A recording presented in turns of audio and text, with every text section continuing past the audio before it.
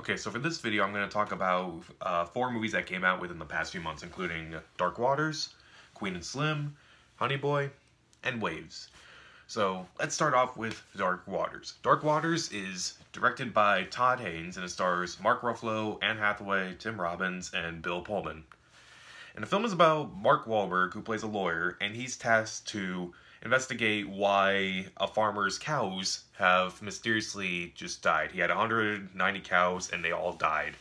And slowly he begins to learn that there was something in the water that they drank, it was contaminated, and now he's he's becoming more suspicious that uh, this company that did this, DuPont, has basically not only dumped this chemical, dumped the chemical willingly, but did put it in all basically they dumped a chemical into water and now it's in pretty much all of us as you'll see in this movie. And this movie this movie was definitely very informative. It's also very very terrifying to say the least. Like this movie honestly scared me more than a lot of movies this year because it's like you know this stuff has actually happened. Like this stuff actually happened and it's just insane that I mean, it's not really that crazy that this happened, but just knowing this is just a lot more terrifying when you see it on the screen and like you know now. Okay, I'm worried now. I'm really worried now about my life and the water I drink now. Uh, as far as performances go, they're they're really good uh, overall. Mark Mark Ruffalo is really good in this movie as he just goes slowly into madness over this case and just dives into paranoia and ultimately it really takes a toll on him and his family. Anne Hathaway is also really good in this movie. Like, at first you think, oh, this is just her playing the wife of Mark Ruffalo, fine. But then the second half, she really shines. Uh, Bill Pullman, who was absent in a lot of the ads, but is in the movie, he's also really good in a very brief role. Tim Robbins and Victor Garber, they're also really good. Um, I don't know. Like the only thing that I would really say is not so good with this movie is that um the main villains for from DuPont, they kind of just come across as like very typical bad guys even though this is a basically a true story. This is a true story, not basically a true story. But overall, it's definitely an informative movie. It's a movie that you it's a movie that you both really need to see just to understand what has happened. But it's not like a movie worth rushing out to see at the same time but it's definitely an informative watch. It's a terrifying watch. Um, I'll still give Dark Waters uh, 3 out of 4 stars. See it. Next up we have Queen and Slim, directed by Melina Matsoukas. I apologize if I mispronounce that name. It's written by Lena Waithe, and it stars Daniel Kaluuya and Jodie Turner-Smith. And the film follows Kaluuya and Turner-Smith as they go on a blind, as they go on a date. The date does not go off so well. First, they don't really like each other, and then secondly, they're pulled over by a cop and things escalate and the cop is killed and now they're on the run. Um, I'm not going to go into details over, I'm not going to go into like personal opinions about how I feel about the whole situation that this movie's revolving around. I'm just going to talk about it as a movie. And the movie, for the most part, is really well done. The acting is incredible, particularly from Kaluuya and Turner-Smith. Uh, their relationship as they are on this journey of theirs, it's it's really fascinating to watch them just grow and kind of learn from each other, learn about themselves, learn about each other, and it's very, very, very powerful, I would say. Um, I would say if I had any issues with this movie, I guess my main issues, my first main, main, issue is, um, for some reason, like, in conversations, they're, like, talking like normal people would talk, like, you know, talk, conversating back and forth but then it cuts to them still like in that still in that conversation but they're not speaking like it's voiceover. And i kind of thought that was an odd choice. It didn't like match with the movie overall because like they were still behaving like they were in the current scene. But it's like random voiceover and it just felt like it didn't work. Also i guess the movie is for the most part feels repetitive because it's like okay, this happens and we have to escape, this happens, we have to escape, this happens, we have to escape. It's like, kind of becomes annoying after a while, but it does mix it up every now and then. And overall, this movie really works because of uh, Kaluuya and Turner Smith more, more than anything.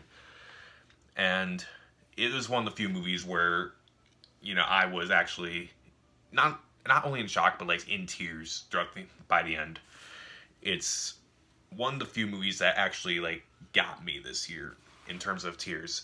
So, uh, Kaluuya, Turner Smith are great. Just some narrative issues I had problems with, and creative choices I had issues with overall. I'll give Queen and Slim 3 out of 4 stars. See it. Next up is Honey Boy, directed by Alma Har'el and it stars Shia LaBeouf, Noah Jupe, and Lucas Hedges. And this was actually written by Shia LaBeouf, uh, inspired by his own childhood as a child actor and his subsequent falling out as an adult. And the film follows uh, a young actor played by Noah Jupe, who is a, a child actor who is trying to make it big with his dad, who's also his manager. His dad's played by Shia LaBeouf. So, and it also deals with uh, Lucas Hedges as he's an adult version of the child actor in rehab. And overall, this is a very well acted movie, particularly from Shia LaBeouf. He is incredible in this movie, playing the dad. Because there are times throughout this movie where it's like, oh, I just hate this guy. Like, I really hate this guy. But then there are some points where you're like, you understand where he's where he's coming from. You you kind of sympathize with him. And Noah Jupe is also really good as uh, the child actor as, as, Otis in the movie. He's really good. Uh, their their relationship, well, toxic, is very fascinating to see. Uh, Lucas Hedges is also good, but he's not as good as uh, LaBeouf and Jupe. Um, and that's kind of my main issue with this movie. Uh, Lucas Hedges' scenes in this movie, even though they're technically part of, you know, the story, they're part of this character's life, they don't mesh well in the movie. They just, I don't know, they feel like they belong in a different movie for me. And which is weird because, again, this is the same character, you know, in the past and the present.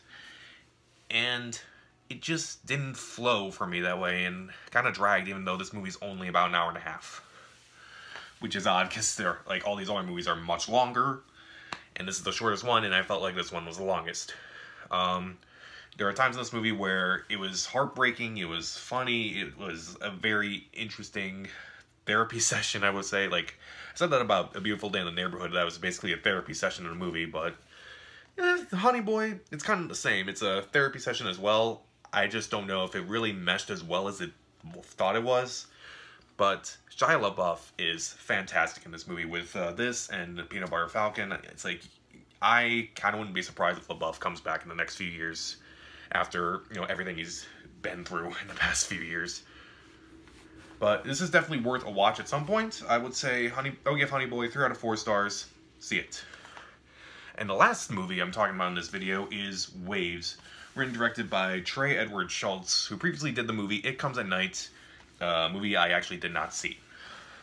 Um, and it's kind of hard to describe what this movie's about because I could either go really, really simple with it, or I could just go into detail with this. And I do not want to go into detail with this movie because I was caught off guard by pretty much everything in this movie.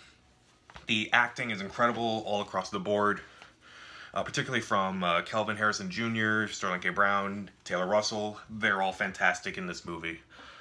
Um, you understand where each character is coming from. You they show such a wide range of emotions in their performances. They are some of the best performances of the year, honestly. Um, where this movie might split some people is how some things happen in the middle. Because there's there's some things that happen in the middle that at first I was not on board with. I kind of didn't understand why they had to go in this direction. And then they do address that later on the movie. And I'm like, okay, it's it's working. It kind of works. And even though it's like you don't like what these characters do in this movie, you can at least forgive them if, you know, they recognize what they did was wrong.